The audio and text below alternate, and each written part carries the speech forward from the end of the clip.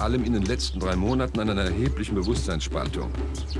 Sein Intellekt und seine Seele waren gelegentlich dermaßen voneinander getrennt, dass er dies einzig durch seinen Thomas-Aspekt zu bewältigen schien.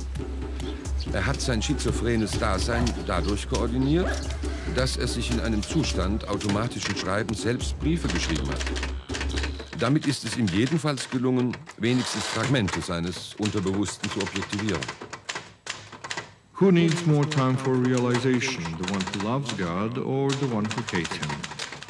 The one who loves God needs seven reincarnations until his definite salvation. The one who hates him needs only three because he thinks of God much more often than the first one.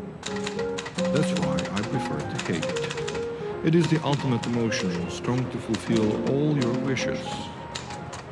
They are all different here. If everybody wants the same, it becomes very easy to take part in it. You have no fear, you take no responsibility for anything, even if it is absolutely sick. Psychic epitones are very easy to create. Let 1,000 sheep of mankind listen to a specific suggested story, no one will dare to be an exception, to be excluded from your grace. I mean, it is not unpleasant to be a sheep.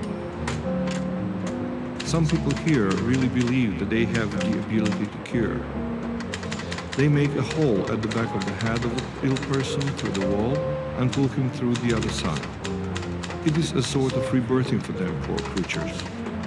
Others get a new name and they believe, therefore, a new soul too. So demons wouldn't recognize them anymore. Take care of yourself. Love.